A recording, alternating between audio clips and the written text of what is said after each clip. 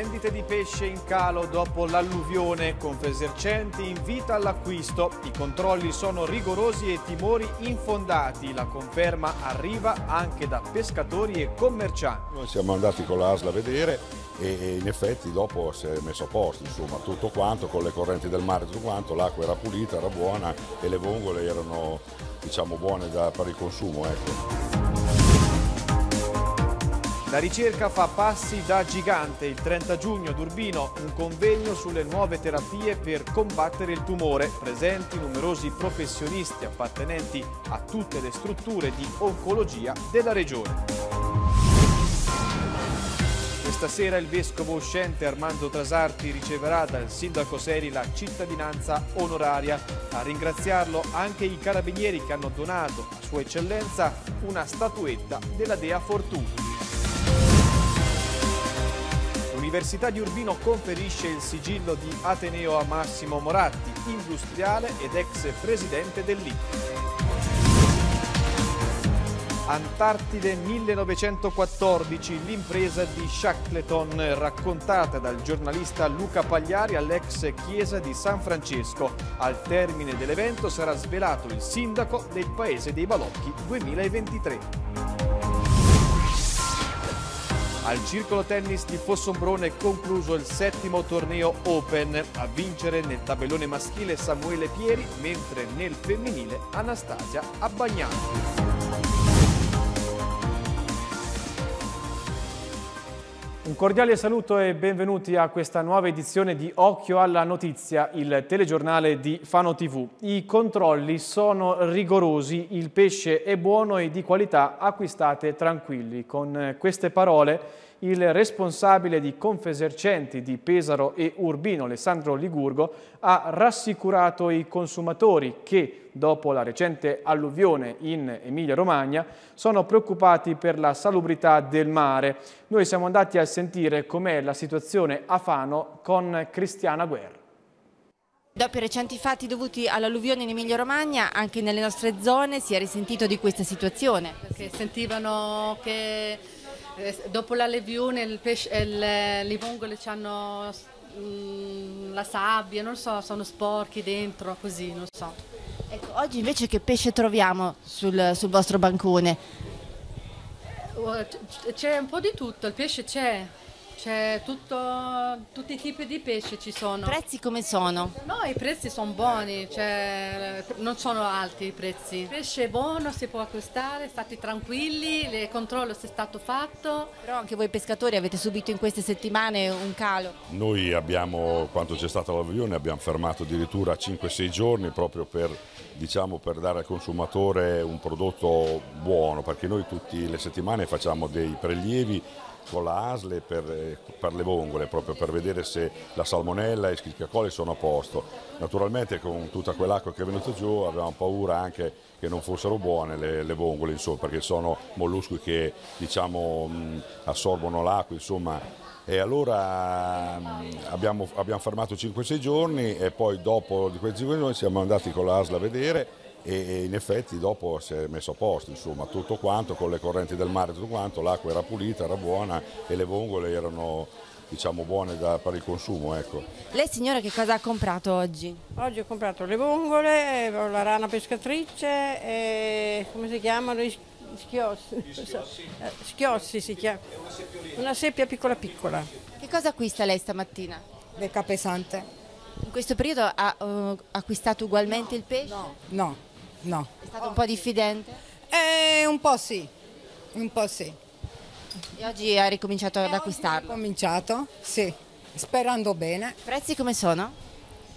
Eh, um, insomma, oggi sono abbastanza bassi, altrimenti durante la settimana sono un po' più alti. Un chilo di vongole che ci faccio gli spaghetti perché io il pesce lo mangio quasi tutti i giorni e quindi eh, al sabato facciamo una cosa veloce. Quindi lei non è stata colpita da questa psicosi, diciamo così, che da tre settimane circola? Balneabili vuol dire che anche il pesce... No, no, continuo a acquistarlo. Due incidenti si sono verificati a Fano questa mattina. Il primo, accaduto alle 10.45, ha visto coinvolte un Audi A4 condotta da un fanese di 49 anni e una moto Honda guidata da un 19enne fanese rimasta ferita.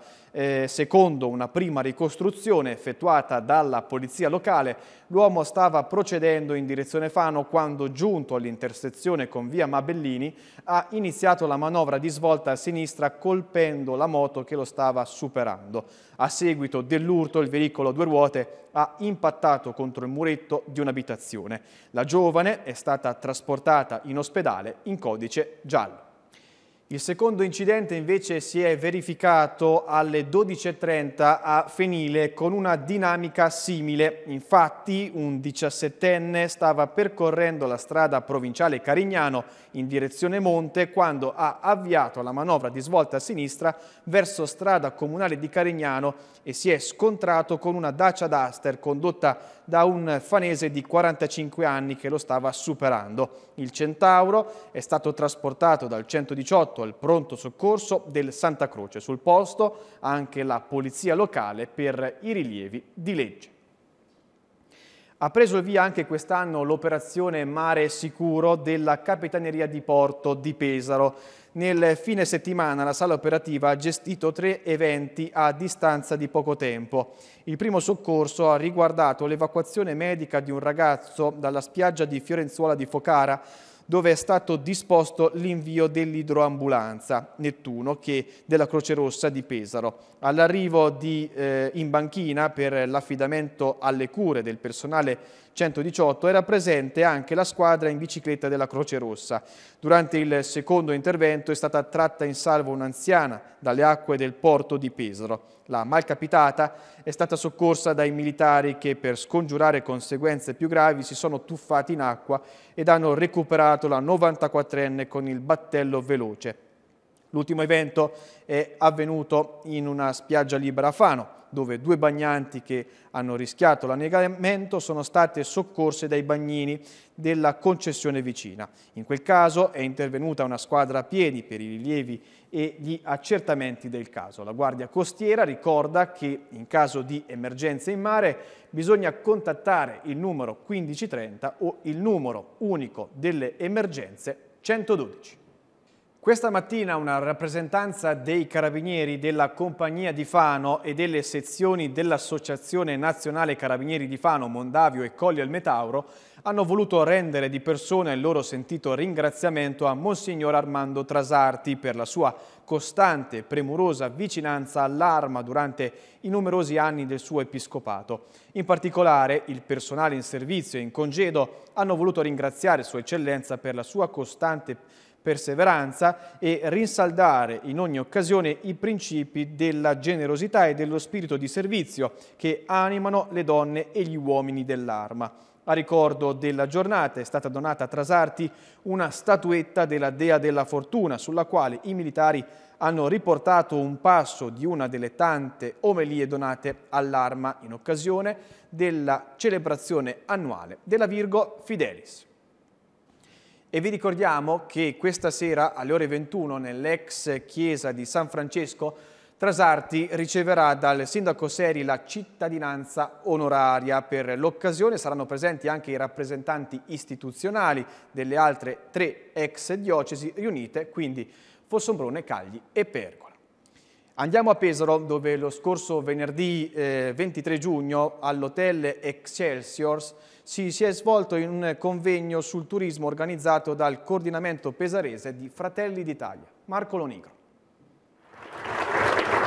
Un convegno importante per confrontarsi con coloro che ogni giorno operano nel settore del turismo. Tanti temi trattati durante l'incontro svoltosi lo scorso venerdì 23 giugno a Pesaro, dal legame strettissimo tra turismo e infrastrutture al problema della Bolkestein per i gestori delle spiagge. La Bolkestein incombe da tanti anni, siamo arrivati un po' alla fine di un percorso, noi siamo a favore delle imprese, siamo accanto a queste imprese perché riteniamo che oggi eh, esse rappresentano riconoscono il valore del territorio e temiamo tutto quello che possa vedere o privilegiare un'impresa che non è collegata col territorio, che impoverisce non solo la filiera ma che rischia di disinnescare un percorso virtuoso che abbiamo costruito, che hanno costruito in questi anni e che ha portato non solo le Marche ma il sistema balneare italiano ad essere il primo al mondo. Stiamo facendo un grande lavoro sul eh, sistema aeroportuale che è sicuramente per noi il sistema più immediato per colmare quel gap che ci rende lontani da tutto e da tutti nonostante siamo al centro dell'Italia.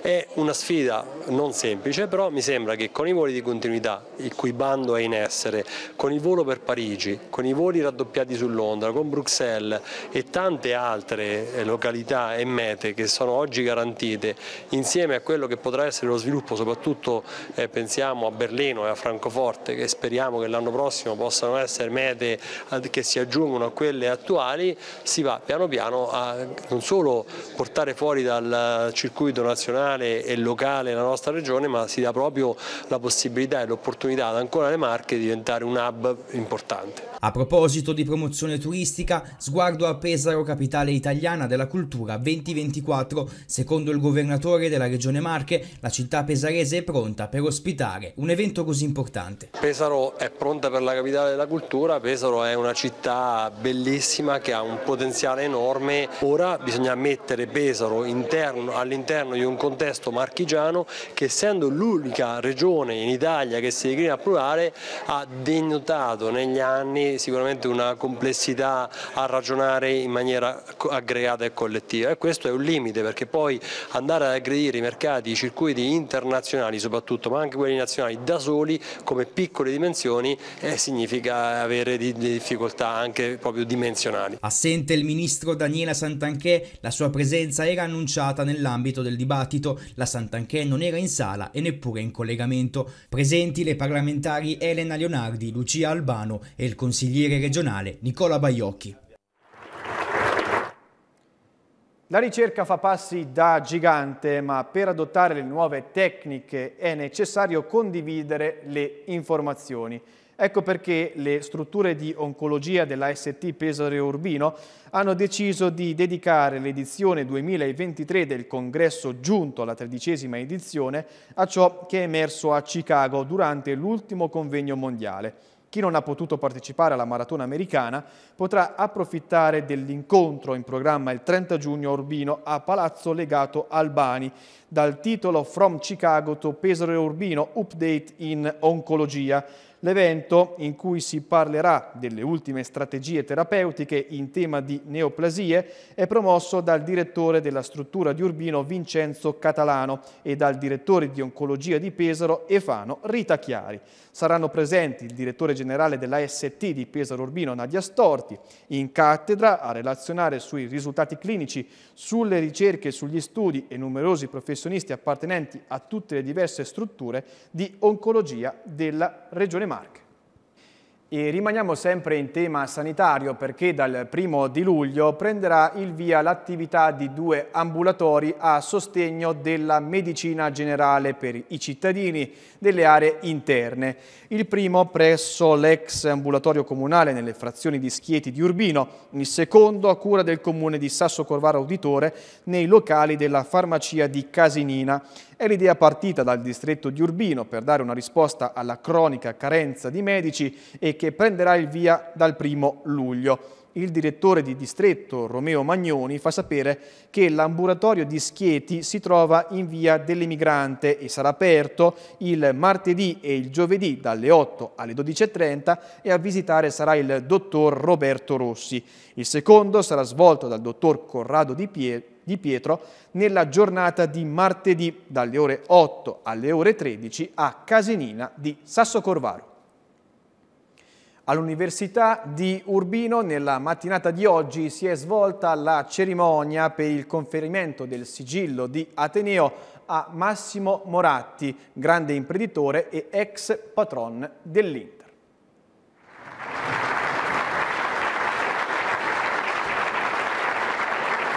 Una vita per l'economia, lo sport e il sociale è il titolo della Lectio Magistralis pronunciata da Massimo Moratti in occasione del conferimento del sigillo di Ateneo dell'Università di Urbino. Finito nel 2015 del collare d'oro merito sportivo, massima onorificenza del Comitato Olimpico Nazionale Italiano. Per queste motivazioni l'Università di Studi di Urbino Carlo Bo, erede dell'umanesimo che ha impregnato tanta parte della moderna civiltà europea e che vuole offrire ai giovani di oggi un patrimonio di idee su cui fondare un futuro professionale e umano, attribuisce a Massimo Moratti il sigillo di Ateneo. Moratti, oltre ad essere imprenditore, ha saputo concretizzare la sua passione per lo sport, rilevando nel 1995 il club che meglio incarnava i valori a cui egli era stato educato. L'Internazionale di Milano, squadra che negli anni 60, al tempo della mitica presidenza del padre Angelo, aveva creato un ciclo di successi in Italia, in Europa e nel mondo. Massimo si getta così in un'avventura che durerà fino al 2013 e consentirà all'Inter di raggiungere, sotto la sua presidenza un numero di successi sinora ineguagliato, ben 16 trofei. Importante il suo impegno per il progetto Intercampus, che opera anche oggi come strumento educativo e sociale in ben 30 paesi nel mondo, unito alle tante iniziative benefiche portate avanti con il fondatore di Emergency, Gino Strada. L'ex numero uno dell'Inter e attuale presidente della Saras ha parlato così al termine della cerimonia. Immenso piacere prima di tutto e onore di essere qui e non mi aspettavo questo eh, affetto che naturalmente si, eh, si è sviluppato adesso specialmente dai tifosi dell'Inter.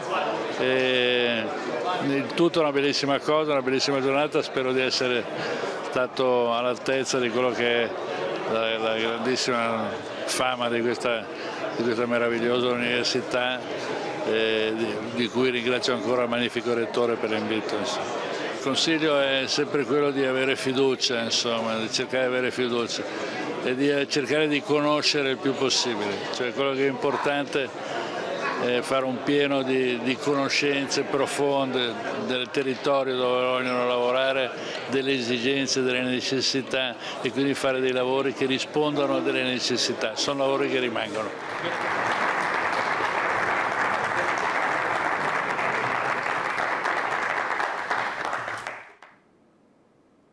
A Pesaro nel mese di settembre la primaria Mascarucci si sposterà in Viale Trieste 296. Il cambio di sede è valido a partire dal prossimo anno scolastico per le 14 classi frequentate dai 250 alunni dell'edificio di Soria. Una scelta necessaria, hanno spiegato il sindaco Ricci e l'assessore Murgia, perché i controlli che abbiamo fatto dopo le scosse di terremoto di novembre, proseguiti fino a queste settimane, hanno indicato che l'edificio di via Agostini è stato danneggiato dal sisma. Per questo, insieme ai tecnici, abbiamo deciso di spostare la Mascarucci alla Pesaro Studi in un luogo sicuro e adeguato. Nella ridistribuzione degli spazi hanno proseguito è previsto anche lo spostamento dell'università nel quartiere di Muraglia, in attesa che il San Domenico, dopo i lavori finanziati dal PNRR, possa accogliere al meglio l'Ateneo, stabilendo una sede in centro storico. Domani sera all'ex chiesa di San Francesco il giornalista Luca Pagliari racconterà la straordinaria operazione di soccorso in Antartide del grande esploratore Ernest.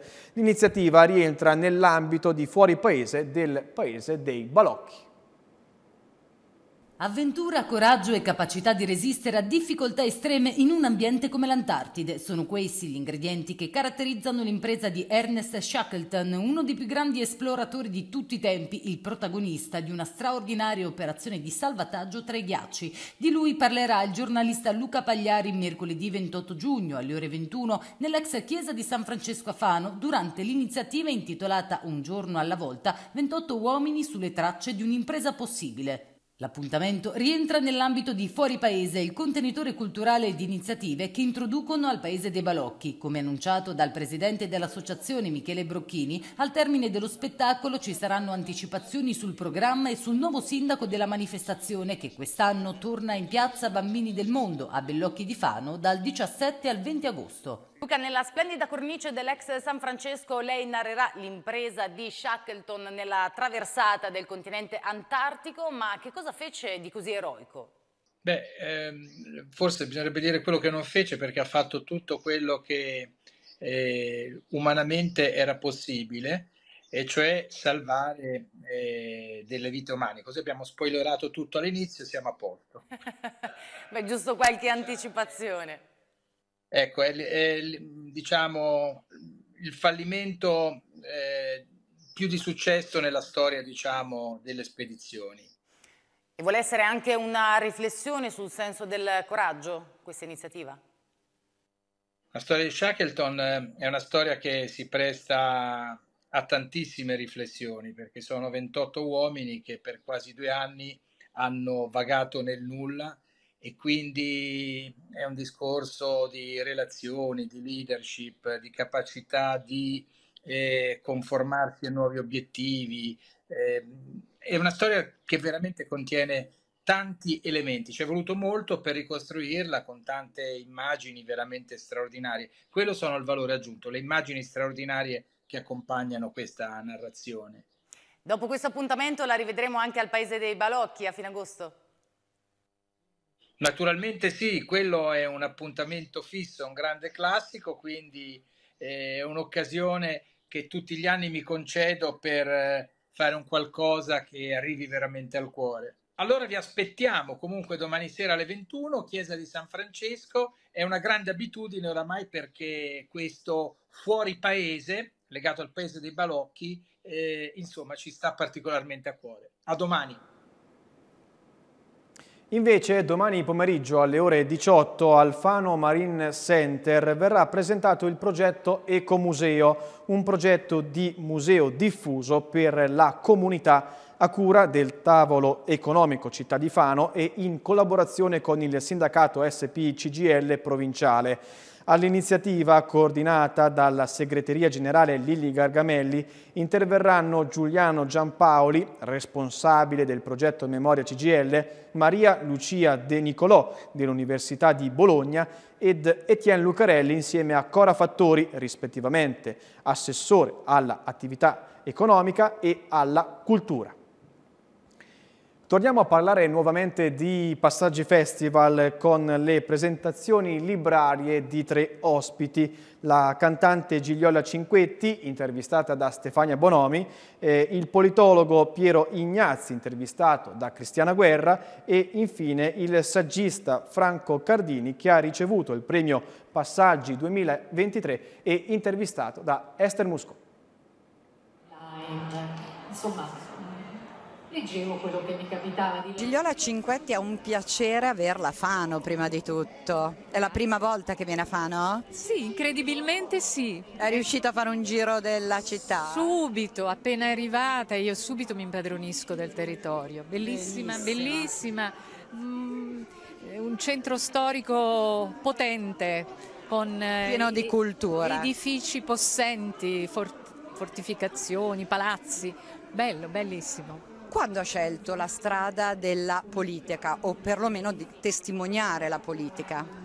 Ma la politica mi piace, ne ho sempre parlato intensamente con mio marito che mm, è un esperto e che mi ha insegnato molto e poi la, la, l'amore per il mio paese insomma è, è sempre stato in, me molto forte infatti quando mi è stato offerto di andare a vivere in altri paesi perché avevo successo in Francia, avevo successo negli Stati Uniti, ho sempre detto no, io vivo in Italia perché è il paese più bello del mondo. E il momento in cui diciamo, ho partecipato più attivamente è stato il periodo dell'ulivo e ero molto convinta della bontà del progetto di Romano Prodi e penso che il nostro paese in quel momento insomma, abbia vissuto qualcosa di positivo ed è stato un peccato che questa esperienza sia stata interrotta, non, non portata a termine.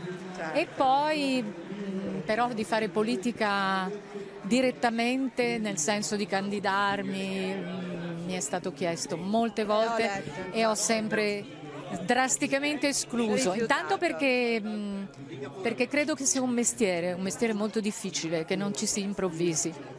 E poi io sono un artista e ci tengo a, esatto, a rimanerlo. Proprio parlando sul discorso, restando sul discorso dell'artista, il successo, il suo successo è stato dato dalla televisione, ai tempi c'era la televisione. Che differenza sente oggi col discorso che per riuscire a promuoversi non è più necessaria la televisione ma ormai ci sono i social? Sì, è vero.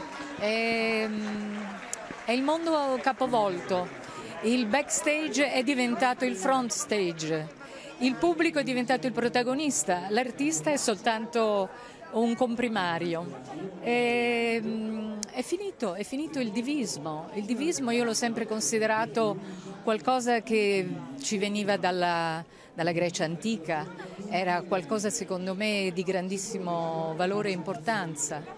E, ehm, non so se poi arriverà un periodo in cui tutto si capovolgerà nuovamente, però in questo momento io vedo veramente la realtà capovolta.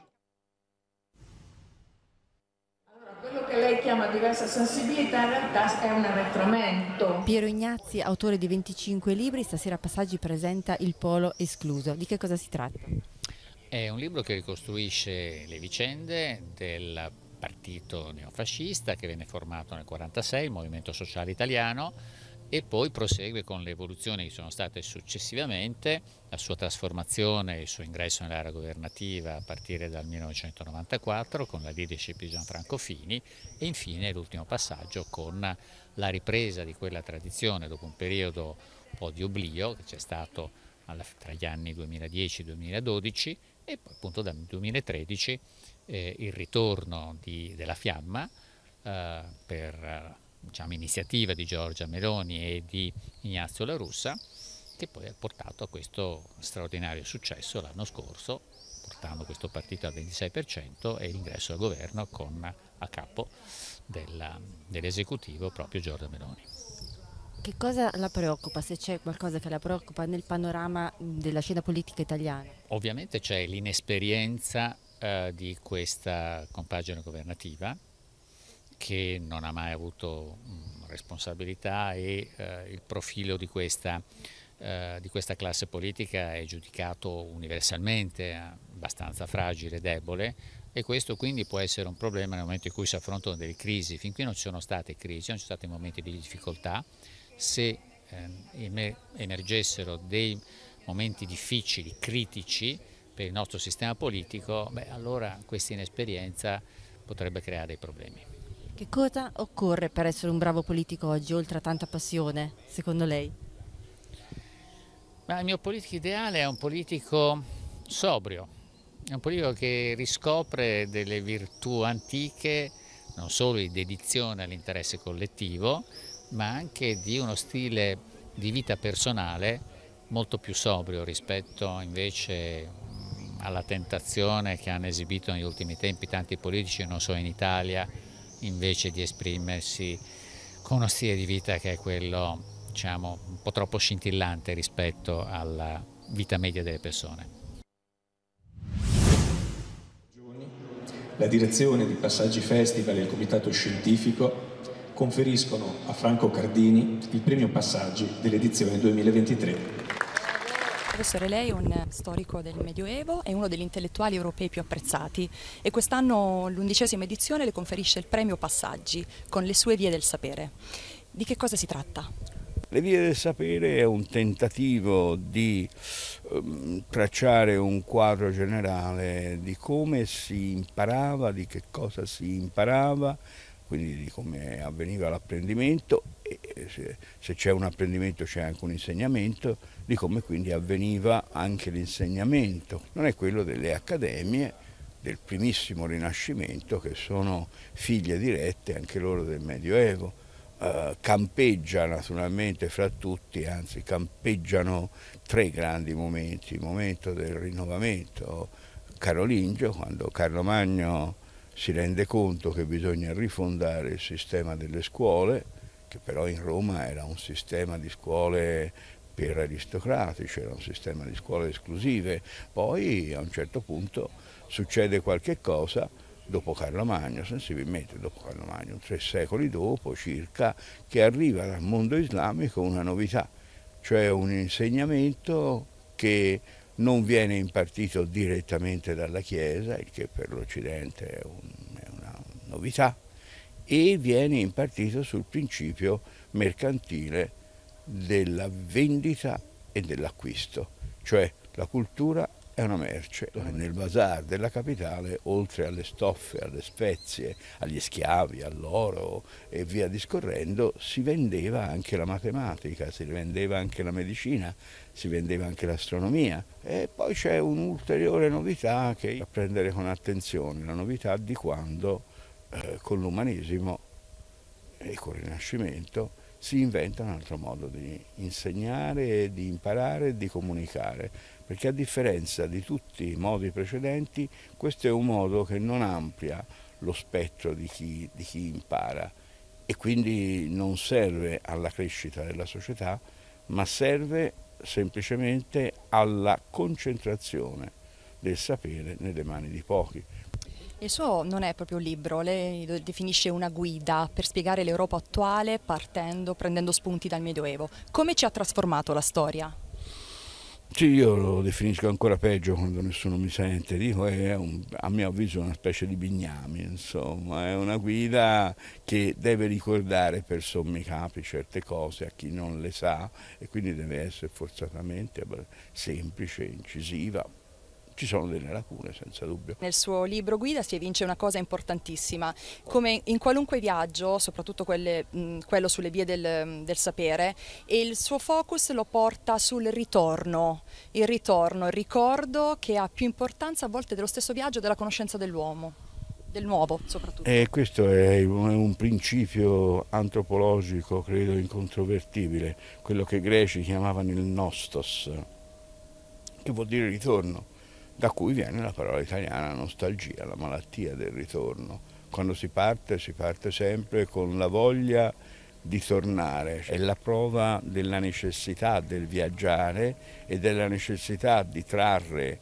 frutto dal viaggiare quando naturalmente il viaggio è finito, quindi noi tendiamo sempre a una meta, ma questa meta non è quella della pura andata, è quella del ritorno eh, hanno ragione gli spagnoli e soprattutto gli argentini, i quali hanno creato una filosofia del volver, una filosofia del ritorno che poi ha dato frutti soprattutto nella musica, eccetera. Auguriamo un buon viaggio sulle vie del sapere a tutti allora. Grazie, Grazie a lei, Grazie. Grazie. Concludiamo con lo sport, terminato con soddisfazione degli organizzatori il settimo torneo Open maschile e femminile città di Fossombrone. Allora vediamo nel prossimo servizio alcune immagini. Il Circolo Tennis Forsempronese ha ospitato il settimo torneo Open maschile e femminile città di Fossombrone che si è svolto dal 9 fino al 24 giugno. Questo torneo di portata nazionale si configura come uno degli appuntamenti più importanti del centro Italia della categoria Open, sia per montepremi che per dimensione, con più di 160 atleti iscritti, ma anche di assoluta qualità, con ben 62 giocatori e giocatrici di seconda categoria, di cui almeno 10 con ranking internazionale. A vincere l'edizione 2023 nel tabellone maschile è stato Samuele Pieri di Visenzio su Alessandro Pecci di Canottieri Padova, mentre per la sezione femminile è stata Anastasia Abbagnato di Palermo su Sofia Rocchetti di Tolentino. Soddisfatti gli organizzatori che hanno visto la struttura popolarsi di spettatori e giocatori tra sano sport, divertimento e aggregazione. Ok, allora parlo in generale dell'andamento del torneo, dove è un'edizione assolutamente riuscita eh, in termini sia di numeri che di livello tecnico, in quanto abbiamo avuto soprattutto nel tabellone di seconda categoria, quindi nel tabellone finale, ben più di 60 giocatori di seconda categoria, di cui almeno 10 con ranking internazionale. E quindi siamo contenti per, per la grande partecipazione, per eh, l'alto livello anche di tennis in termini di spettacolo e di livello tecnico e soprattutto di partecipazione del pubblico. Torneo è risultato molto positivo perché comunque nel, nella totalità ci sono stati 160 iscritti e non sono mancati gli eventi conviviali anche extra sportivi che, che hanno permesso comunque un'aggregazione sociale diciamo, tra le persone e tutto questo è, è stato merito anche dell'organizzazione sia dei giudici arbitri che della, della direzione sportiva e di tutto il consiglio d'amministrazione del circolo.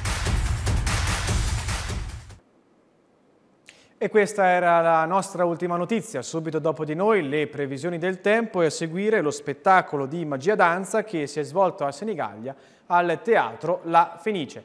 È tutto, grazie per essere stati con noi e buon proseguimento di serata.